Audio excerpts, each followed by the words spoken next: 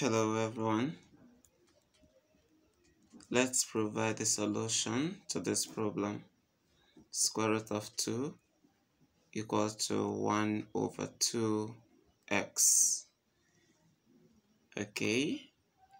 You should understand that this is the same thing as square root of 2 being equal to 1 over 2. Okay.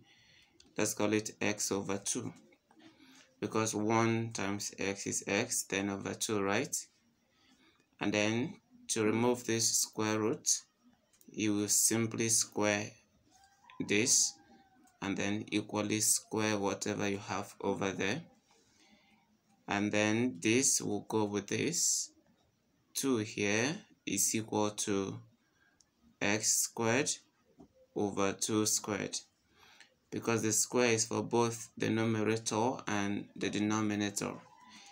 And then our 2 will be equal to x squared over 4.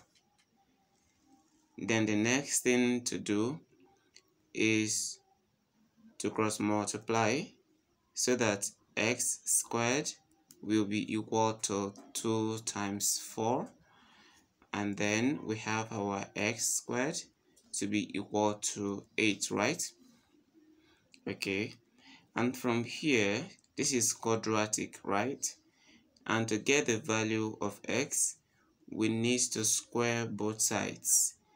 Okay so I will take the square root okay we need to take the square root of both sides. I'll take the square root of x squared and then plus or minus square root of 8 right?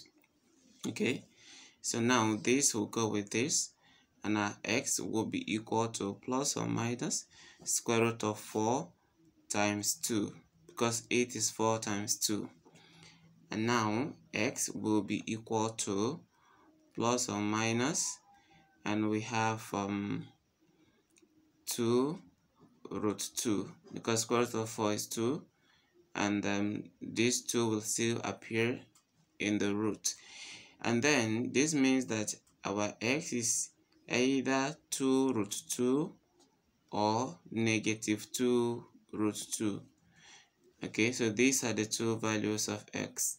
Thank you for watching